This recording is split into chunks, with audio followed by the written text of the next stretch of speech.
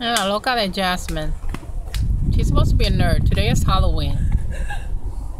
Look at all the crazy stuff this girl does.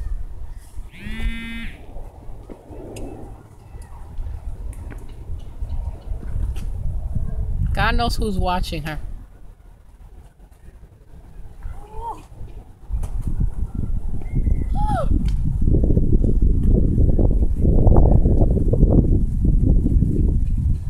Te cagaste.